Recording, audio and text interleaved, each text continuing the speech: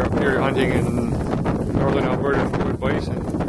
And we got a small group of bachelor bulls here. We actually have uh, five bulls, six bulls, looks like.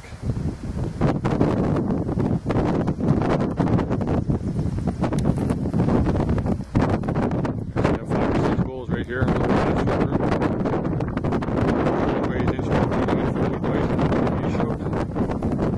great looking bulls.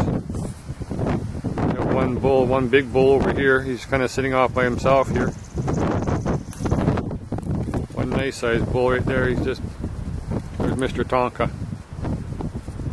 My client just flew up today, so I don't have a client for a couple days. So hopefully my next client comes in, we can get on these guys and get them a bison. That's a real nice sized bull there. Look at that pumpkin on the size of that guy, eh? Great big head. These are free range wood bison.